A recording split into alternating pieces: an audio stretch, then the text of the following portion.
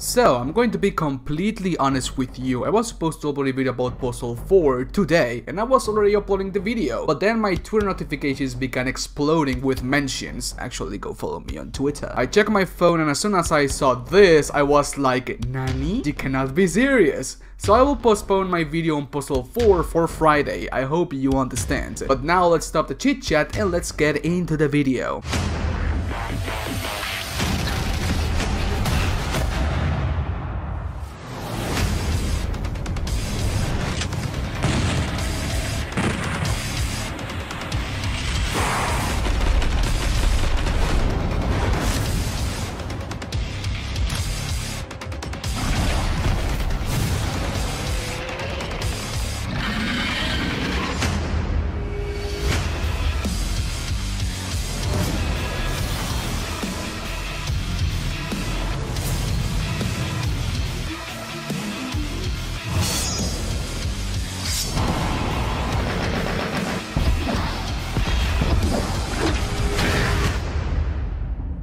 I said that I was going to make a video on everything related to Doom Eternal, so here you go, I never break my promises, my Spartans. If you guys didn't know, it's tough to delay Doom Eternal so that I, Midnight the Spartan, could reach 100k subscribers before the game comes out. So subscribe if you're new, leave a comment on what do you think about this trailer, share this video with your cats, and let's get this video to 5k likes for the Doot Revenant continuemos. So, I guess that we live in a society. Now that Doom Eternal was delayed to March 2020, I figured that id Software was going to release more trailers on the game. On the marketing side of Doom Eternal, we haven't really seen that much activity. The last big drop in Doom Eternal news was back in QuakeCon, which was 3 months ago. And it's not like Doom Eternal is going to flop, and Bethesda is not investing any money into the marketing side of the game. Doom Eternal is the definition of video game hypeness, it's basically the Halo 3 of modern gaming, and it will be a success, in my opinion. So it was really weird that id Software and Bethesda weren't really marketing and pushing Doom Eternal that much. Yes! Even a month before its original release. So I guess that the whole plan on delaying the game has been on the board for quite some time already. But hey, that's a theory, a doom theory. So I really think that you can expect more activity on the marketing side of the game. But hey, I could be wrong too, so do not take it for granted. You would think that this trailer doesn't reveal anything new and doesn't add anything to the narrative that we already have on the game.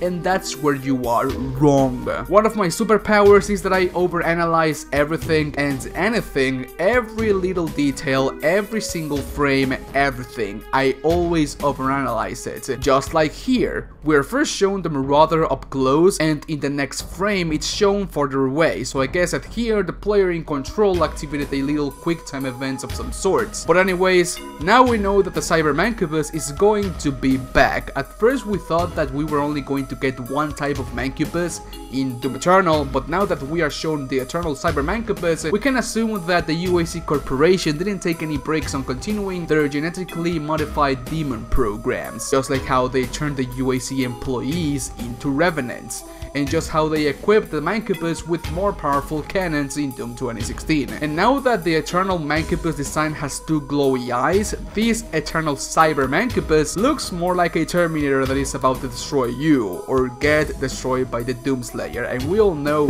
what's truly about to happen there. I also love how this Marauder is minding his own business pretty much and then suddenly a gargantuan demon one punches him. He was like ah la la la la uh, nani? We also get to take a good look on the sandbox design of the game and some features that I talked about in the past like with the Cyber Demon or the Eternal Tyrant.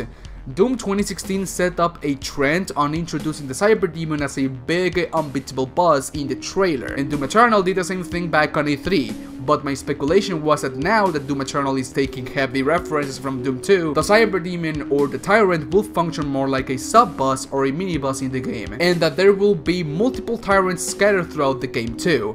And oh boy, this is so true. We can see here that there are two Tyrants in the same arena. Not only will this be hard as fuck, but we can expect more multiple Tyrant encounters scattered throughout the whole campaign. Yes, I know that this image is part of the master level bonus for the campaign, where I guess that you will mainly fight inside super hard arenas filled with the toughest demons enemies. Like, uh, look, in this arena alone there are two Archviles, one Marauder, three Fire Barons, two Tyrants, and the demon Hunter. This arena is going to be hard as fuck, and you can bet your booty that I will be bidding this in the absolute hardest difficulty setting without even touching my keyboard and mouse. My guess with the multiple tyrants in the campaign is that the UAC Corporation, just like how they did with the Vulgar Demon or the Cyber Demon in Doom 2016, is that when the whole Hell on Earth stuff happens and Khan Maykr, the Hell Priests, and the cult began working together, they began weaponizing more demons, and one of the races they weaponized was a Tyrant race. And we have seen hints on that too,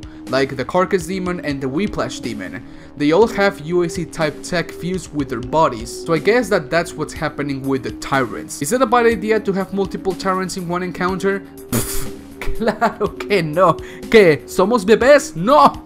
Somos Doom Slayers. Doom is a type of game that makes you want to go to the gym and work out until you are jacked as hell. So these types of encounters are only going to make you be as badass as the Doomslayer. Doom is basically killing the opacity rates in the world.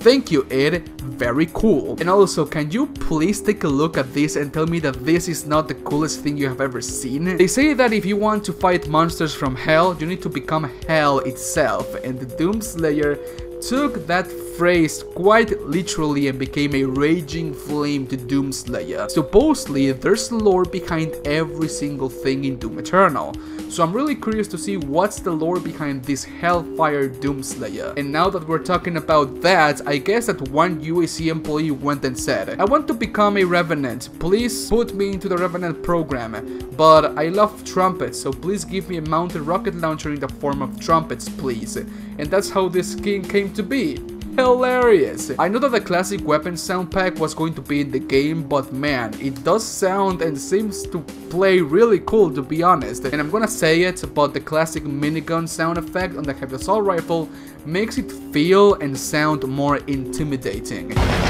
They really need to fix the sounds in the heavy assault rifle for Eternal. It sounds like a PP gun pretty much. I know that I said that you should never pre-order games, the gaming industry nowadays is mostly filled with people that only want your money in the most greediest way possible and pre-ordering is basically just giving them free money in a sense, but I think that with Doom Eternal we should do an exception. The pre-order bonus itself has great value, it gives you lots of in-game digital exclusive content and it gives you, which is in my opinion, one of the best Doom experiences out there, Doom 64 all for free. All you gotta do is pre-order the game. I think it was a good PR move to add Doom 64 as an incentive for more pre-orders for the game. The last time I played Doom 64 was over a decade ago and I haven't really tried to download it on an emulator for my PC. And to see that they are re-releasing Doom 64 on all consoles just brings a tear into my eye. I will definitely do a review on the game port when it comes out because you know the latest Doom and Doom 2 ports had some problems here and there so let's see how much of the original uh, experience still resides on Doom 64 when it comes out on March 20, 2020. Be sure to subscribe if you want to see that in the future. Thank you so much for watching this video. And so case Spartans, please let me know what you think about this video down in the comment section. Leave a like if you did and leave a dislike if you didn't. Links for my social media are all down below and thanks to all of my patrons for supporting this channel every single month. Patreon link down below as well. Then again, I guess that we can expect more Doom Eternal content now that there is a huge gap from here to the release date, and if you want to see everything Doom Eternal covered, subscribe to this channel. When the game finally drops, I'm going to be uploading lots and lots of Doom Eternal content, videos on the campaign episodes, lore videos on all of the demons, the Doom Slayer, the weapons, pretty much content on everything Doom Eternal related, but I do not want to become a Doom channel. I do not want to stay as a Doom channel only because I want to grow as a YouTuber and for that I need to expand my horizons. I need to do videos on other content, gaming reviews on other games, VR gameplays because I want to get into VR. I need to do more content, more original content, so expect some changes in the content for the channel. Of course, Doom Eternal is always going to be my baby. Doom Eternal is always going to be a huge part of the channel, but but uh, the channel needs to expand so as I said expect more changes on the channel soon. We are experiencing some changes already in the channel and the feedback has been really great and for that I really do appreciate it my Spartans. My goal is to reach 10 million subscribers I do not care when, that's just my goal. That's that's my end goal for this channel. Obviously when I reach 10 million subscribers I'm not going to end my YouTube career, but my end goal for this channel is 10 million subscribers. I'm not gonna stop doing videos until I reach 10 million subscribers. Then again, thanks for watching and I hope you have a wonderful day. I'll see you on Friday. Bye. Mwah. 10 million subscribers.